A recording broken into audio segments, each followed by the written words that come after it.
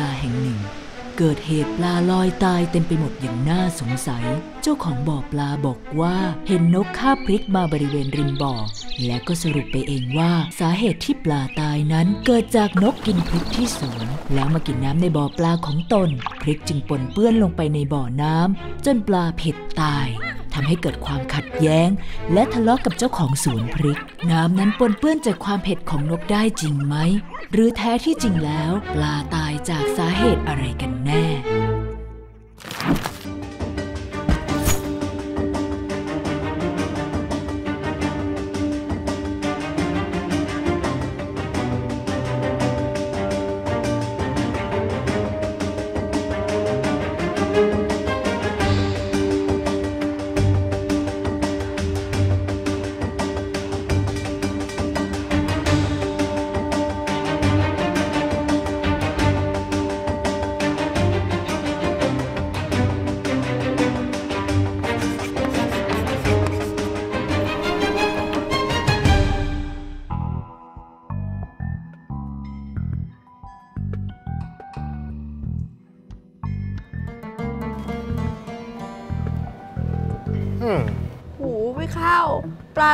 อยอืดเยอะขนาดนี้เนี่ยเจ้าของบ่อปลาเนี่ยคงเสียดายมากเลยนะครับ จากเท่าที่ดูนี่ตายทั้งบ่อเลยนะฮีโร่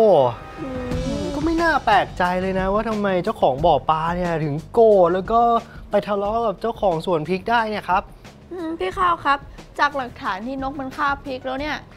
ฮิโร่ มันจะใช่สาเหตุที่ทำให้ปลาตายได้เหรอคะพี่ข้าวนกมันกินพริกได้เหรอคะพี่ข้าวขนาดที่เรากินเม็ดเล็กนิดเดียวยังเผ็ดเลย แต่ดูพี่ข้าวมันใหญ่แล้วนี่อ๋อถ้าพูดถึงเรื่องพริกกับความเผ็ดเนี่ยพี่ข้าวพอรู้อยู่นะครับมาดูนี่เร็ว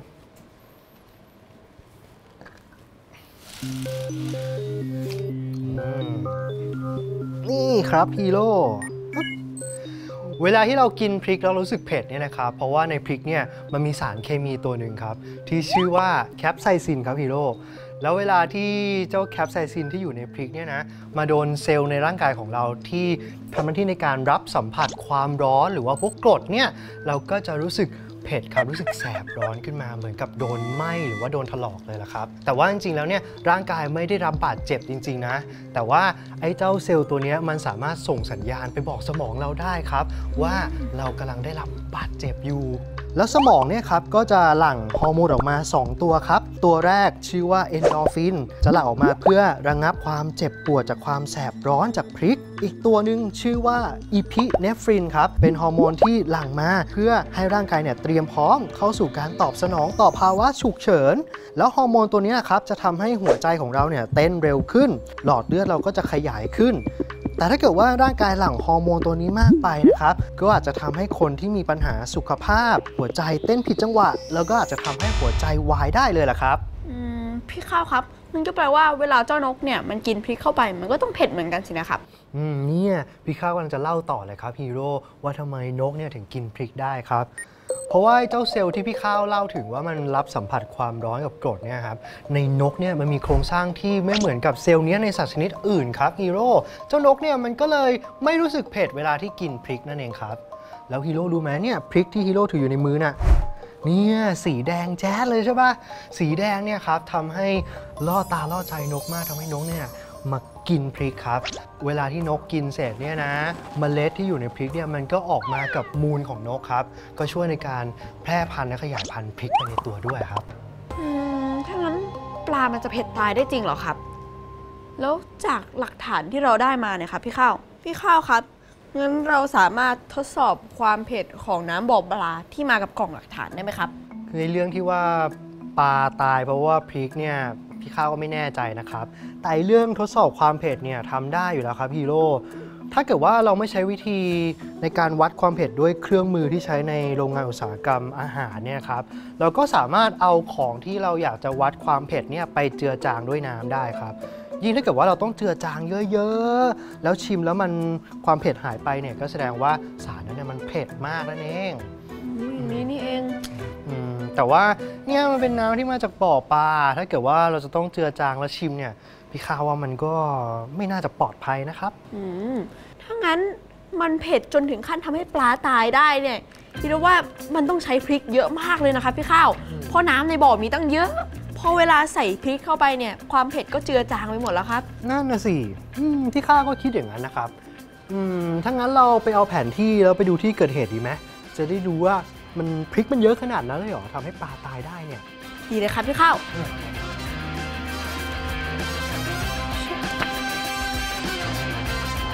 ครับ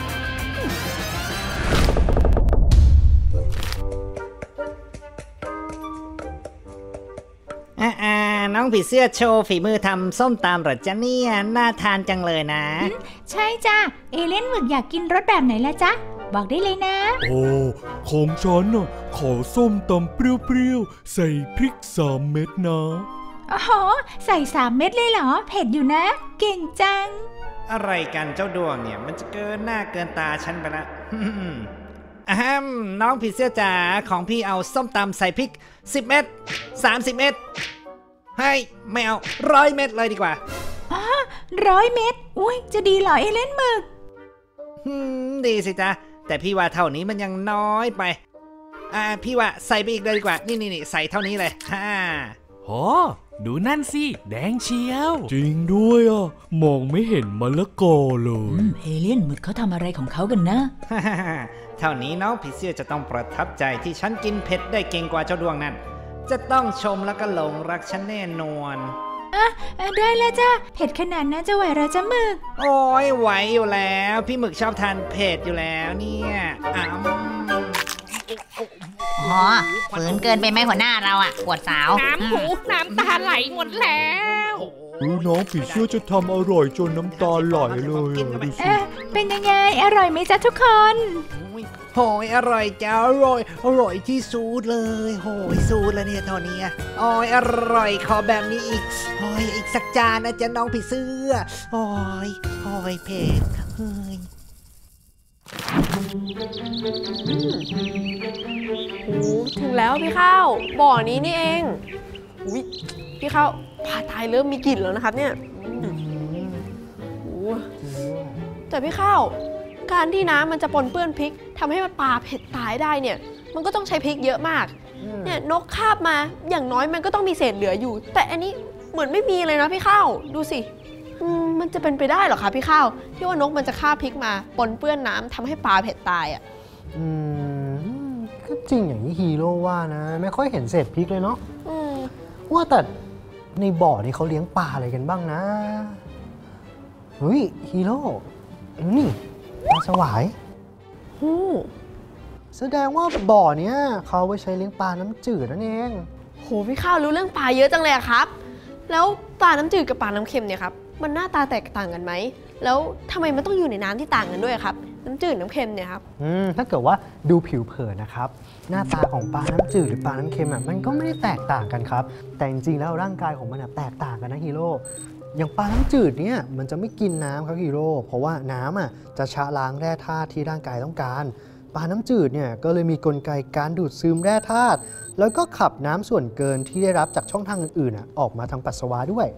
ตรงกันข้ามเลยครับปลาน้ำเค็มเนี่ยต้องกินน้ำปริมาณเยอะมากๆเลย เพื่อให้ร่างกายอะมีน้ำเพียงพอ แล้วก็รักษาระดับน้ำในร่างกายเอาไว้ แล้วก็ขับเกลือในร่างกายออกทางปัสสาวะ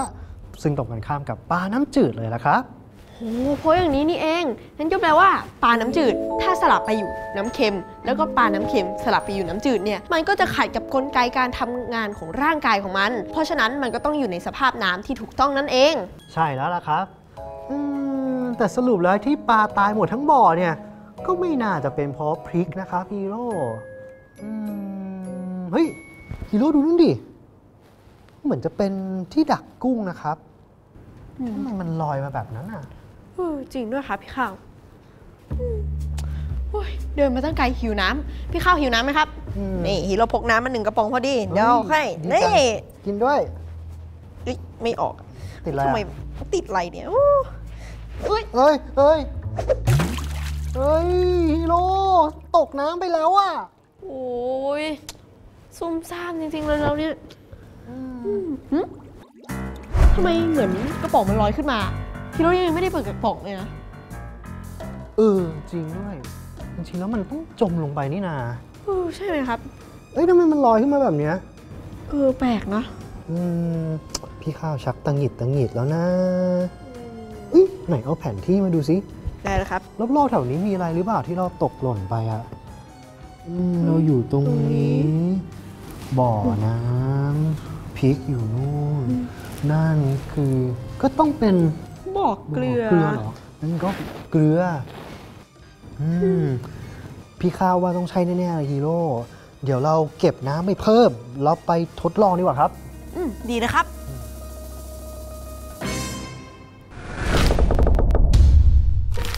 เฮ้ยทุกคนไปเล่นน้ำกันเถอะไปด้วงไปเล่นน้ำกัน ไม่เอาอะ ฉันน่ะว่ายน้ำไม่เก่ง เดี๋ยวพอรถไอติมมา พวกนายอะก็ทิ้งฉันไปเหมือนครั้งก่อนดีแน่ มีงอนซะด้วยคราวนี้ไม่ทิ้งแล้วจริงคราวก่อนขอโทษนะ แต่วันเนี้ยที่จะไปนะไม่จมแน่นอนเลยจ้ะ ไม่เอาอะ ฉันน่ะไม่ไว้ใจพวกนายแล้ว ฉันขอใส่ห่วงยางดีกว่าๆว้า ใส่ห่วงยางแบบนี้ก็ชิลดีเหมือนกันนะลอยตุ๊บปองตุ๊บปอง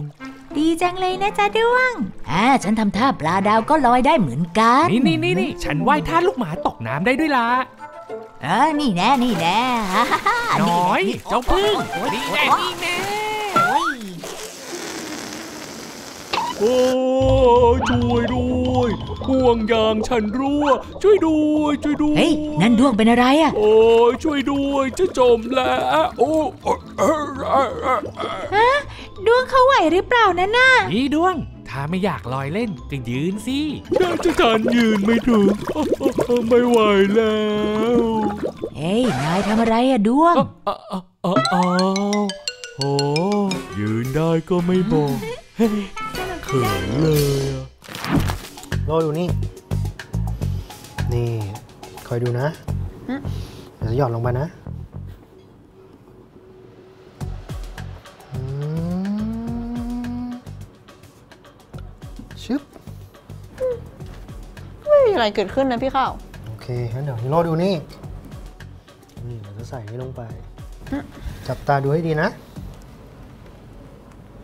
เอานะ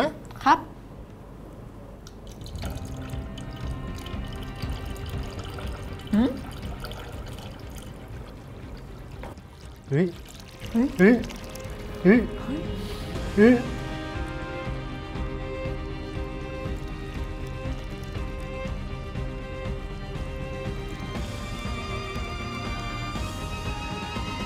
อุ้ยพี่ข้าวครับ จากตอนแรกกระป๋องที่มันจมอยู่มันลอยขึ้นมาได้ไง พี่ข้าวใส่อะไรลงไปเหรอครับน่าอยากรู้ว่าดิ ตอนแรกนะครับน้ำในตู้เนี่ยมันเป็นน้ำเปล่าธรรมดาครับ กระป๋องเนี่ยมันก็เลยจมทีนี้ พี่ข้าวใส่น้ำพิเศษลงไปฮีโร่รู้เปล่าว่ามันคือน้ำอะไร ลองเดาดิอืมถ้าดูจากความขุ่นแล้วเนี่ย น่าจะเป็นน้ำเกลือหรือเปล่าครับพี่ข้าวอืมถูกต้องเลยครับ แล้วรู้ไหมว่าทำไมพอเราใส่น้ำเกลือลงไปเนี่ย ไอ้เจ้ากระป๋องมันถึงลอยขึ้นมาได้ครับ อืม อันนี้ฮีโร่รู้ครับ เพราะว่าน้ำมีส่วนประกอบเป็นไฮโดรเจน แล้วก็ออกซิเจนเป็นส่วนใหญ่ครับพอเวลาเราเทน้ำเกลือลงไป ส่วนประกอบก็จะเพิ่มขึ้นมา เพราะฉะนั้นความหนาแน่นก็จะเพิ่มขึ้นตามไปด้วย วัตถุบางอย่างที่จมน้ำอยู่ก็เลยลอยขึ้นมาได้ยังไงล่ะครับ อืมเก่งมากครับ ถูกต้องเลย แล้วฮีโร่คุ้นๆป่ะเอ๊ะเราเคยเจอเหตุการณ์แบบนี้ที่ไหนนะอืมอ๋อ ที่บ่อปลายังไงล่ะครับ เวลาที่เราทำกระป๋องน้ำหล่นมันก็ลอยขึ้นมาได้เลยอืมมันก็แปลว่าน้ำตรงนั้นต้องเค็มมากแน่ๆเลยครับ ใช่แล้วแล้วเพื่อความชัวร์นะครับ เรามาวัดความเค็มของน้ำที่เราเก็บมาดีกว่าไหมดีนะครับ นี่ครับฮีโร่ดูนี่นี่อันนี้คือน้ำเปล่า ส่วนอันเนี้ยคือน้ำที่เราเก็บมาจากที่เกิดเหตุครับ แล้วก็พี่ข้าวมีนี่หืมที่วัดความเค็มครับฮีโร่อืมครับ เรามาวัดความเค็มกันดูดีไหม ดีเลยครับพี่ข้าวอืมลองวัดน้ำเปล่าก่อนเนาะได้ครับอืมปึ๊บก็ไม่ขึ้นเลยนะครับพี่ข้าวอืมแสดงว่าไม่เค็มเลยเนาะอืมปึ๊บทีนี้ไอ้เจ้าน้ำจากที่เกิดเหตุล่ะปึ๊บโอ้โหพี่ข้าวที่วัดความเค็มสูงปรี๊ดเลยค่ะพี่ข้าวอืมนั่นก็แสดงว่าปลาที่อยู่ตรงบ่อน้ำตรงนั้น ไม่ได้ตายเพราะเผ็ดพริก แต่ตายเพราะมันเป็นน้ำเกลือครับพี่ข้าว แถมพี่ข้าวฮีโร่จำได้แล้ว จากแผนที่เนี่ยเหมือนมีบ่อเกลืออยู่ใกล้ๆบ่อน้ำด้วยฮีโร่ว่าน้ำบ่อเกลือเนี่ยมันอาจจะซึมมาที่น้ำบ่อปลาทำให้ปลาตายนี่เองอืมอุ้ยเกลือนี่ร้ายกาจจริง ๆเลยนะครับเนี่ย เรามาวัดนี้ไหมคิดว่าเยอะหรือน้อยอาจจะเยอะอยู่นะครับอืมกระป๋องลอยเลย จากข้อมูลเจ้าของบ่อปลาที่คาดว่าการที่ปลาตายเพราะความเผ็ด เกิดจากน้ำที่ปนเปื้อนจากนกที่คาบพริก มากินบริเวณบ่อปลาจากส่วนพริกข้างๆ เหล่านักสืบได้วิเคราะห์กันว่า หากปลารู้สึกเผ็ดได้ และจะเผ็ดถึงขั้นตายได้นั้น ในน้ำต้องมีปริมาณพริกจำนวนมาก จึงเดินทางเพื่อไปดูที่เกิดเหตุ ณ ที่เกิดเหตุพบว่าปริมาณพริกเมื่อเจอกับน้ำที่เป็นสารละลายในบ่อปลา ไม่น่าจะมากพอจนสามารถทำให้ปลาตายได้ แต่ในระหว่างการหาข้อมูลเพิ่มเติม พบว่าวัตถุที่ควรจมในน้ำทั้งที่ดักกุ้ง และกระป๋องน้ำที่ร่วงลงไป และยังไม่ได้เปิด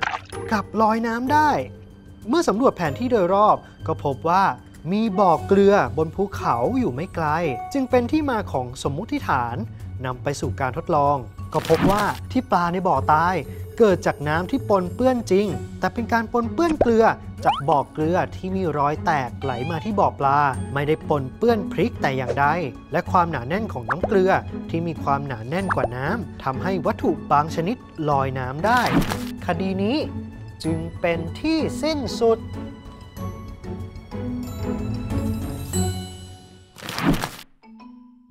เกลือมีบทบาทและความสำคัญกับชีวิตเรามากกว่าที่คิด เพราะเกลือมีส่วนประกอบสำคัญที่ร่างกายต้องการ นอกจากนั้นยังใช้ในการถนอมอาหาร ผลิตอาหารและใช้ในอุตสาหกรรมอื่น ๆ ในสมัยโบราณ เกลือจึงเคยเป็นสิ่งมีค่ามากยิ่งกว่าทองคำและเคยใช้แลกเปลี่ยนสิ่งของแทนเงินมาก่อน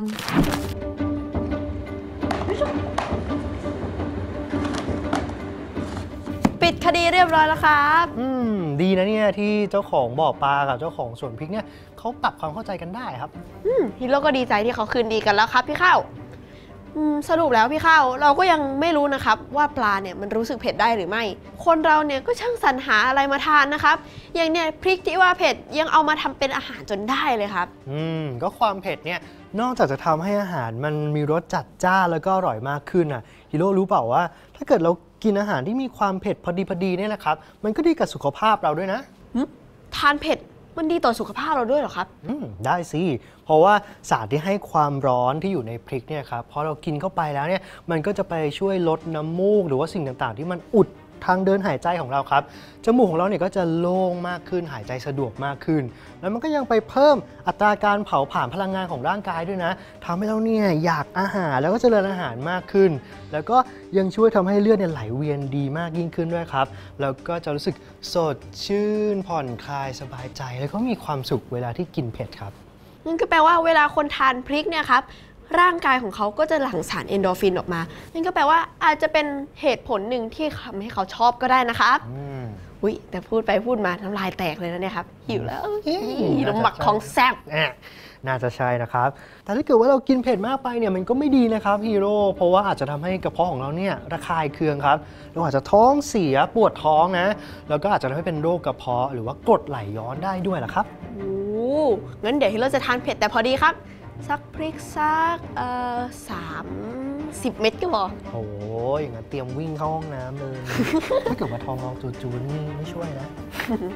งั้นฮีโร่รอเล่นพี่ข้าวเตรียมคาร์บอนได้เลยพี่ข้าวพี่ข้าว